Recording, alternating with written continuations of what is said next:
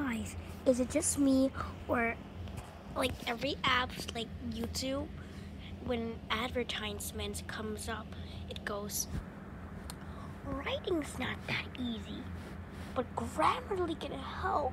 Like, like, oh my gosh.